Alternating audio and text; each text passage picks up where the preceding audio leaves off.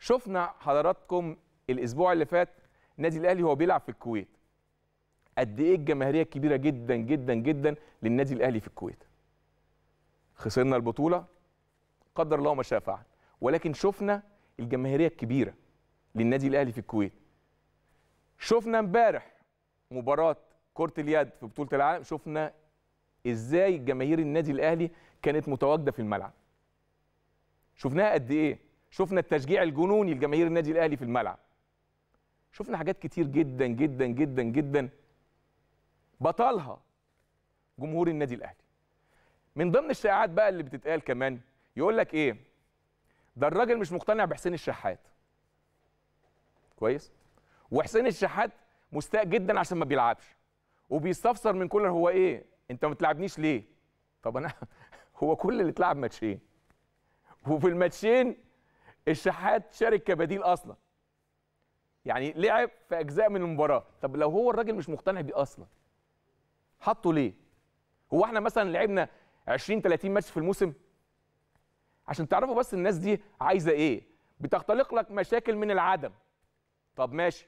بعد إعلان ماتش إعلان قائمة الأهلي في ماتش النهارده بتاع الإسماعيلي الراجل اختار 21 لعيب استبعد الباقي وده وضع طبيعي. وضع طبيعي في أي فرقة في العالم. لكن المغرضين اللي عايزين يصدروا لنا مشاكل مش موجودة أصلا لا طبعا بالنسبة لهم مش طبيعي لأنهم عايزين يختلقوا أي مشاكل. قال لك بقى إيه؟ أسباب استبعاد ياسر إبراهيم ورامي ربيع ومحمد أشرف وكذا واحد كمان. حسب مزاجهم بقى. كل واحد بيفكر إيه؟ السبب اللي هو يعني يخلي لك في مشكلة من لا مشكلة جوه الفرقة. طيب قايمة الفريق قد إيه؟ مش في لائحه وفي قانون بتقول إن في لعيبة في الملعب 11 وفي عدد معين على الدكة تسعة؟ طيب. التشكيل الأساسي بقوله تاني لازم يكون في 11 في الملعب وفي تسعة على الدكة. فالوضع الطبيعي من القايمة كلها حضرتك محتاج 20 بس. إلا بقى لو حضرتك تتوسط لنا عند الاتحاد الدولي يخلي التشكيل في الملعب 20 وعلى الدكة 20 كمان. وكولر ساعتها مش هيستبعد حد خالص. ونزود التغييرات يخلي 10 تغييرات كمان كل اللعيبة تلعب. عشان حضرتك ما تتكلمش بس. شد حيلك انت بس وغير القانون وإحنا هنعمل كل الكلام دوت. طيب عشان تعرفوا برضو حضراتكم ان الكلام ده للناس دي ان عايزة تختلق اي أزمات وخلاص يقول لك إيه؟ ده موجود في النادي الأهلي بس. الكلام ده موجود في النادي الأهلي بس. وما بيبصش الناحية التانية خالص. ولا بيتكلم عن صفقات جديدة ولا صفقات قديمة ولا مشاكل في أوضة اللبس ولا مشاكل في على الدكة ومدفوع فيها ملايين. مدفوع فيها ملايين. والمشاكل ابتدت تتصدر. لكن مش موجودة هناك إنما موجودة عندنا. عشان أنت ما تتكلمش.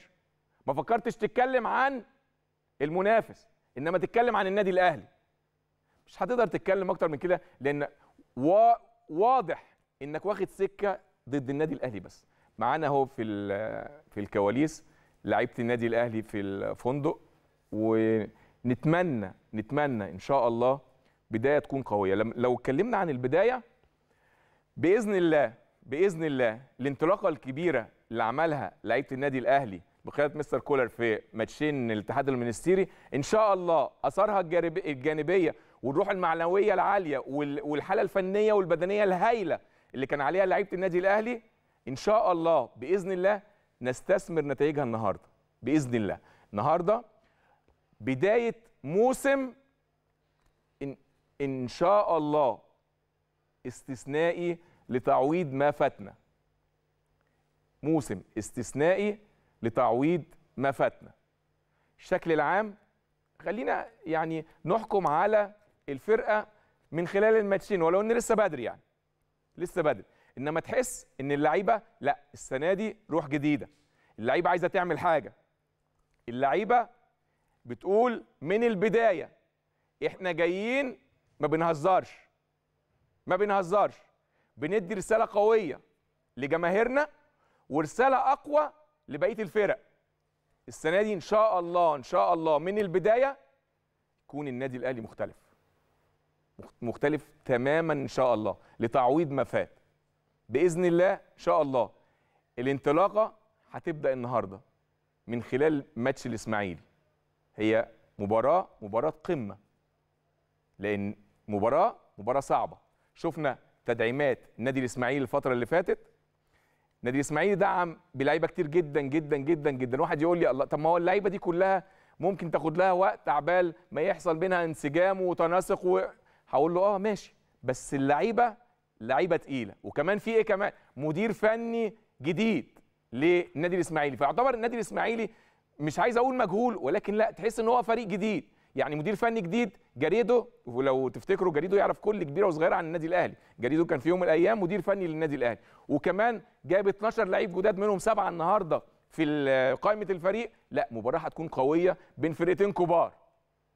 مارسيل كولر قاد الفريق في مباراتين وعارف إمكانيات اللعيبة.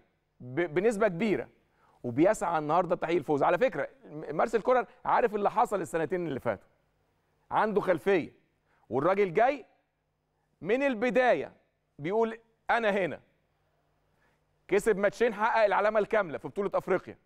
النهارده بإذن الله بيسعى مع لعيبة النادي الأهلي لتحقيق الفوز. وأول انطلاقة في الدوري بتفرق كتير جدا جدا جدا جدا. الناحية الثانية في جريدو المدير الفني الأسبق للأهلي عايز يعمل برضه نتائج كويسة. هو عارف نتائج الإسماعيلي الموسمين اللي فاتوا لكن جاي بطموح جديد بدوافع جديدة نادي الأهلي جاهز النهارده بإذن الله. من خلال التدريبات من خلال الماتشين اللي فاتوا ماتشين الاتحاد المنستيري في دوري أبطال أفريقيا وتحقيق المكسب في المباراتين ذهابا وايابا لا النادي الأهلي النهارده جاهز فنيا وبدنيا. مفيش غير التوفيق. التوفيق بس هو اللي ينقص النهارده لعيبة النادي الأهلي.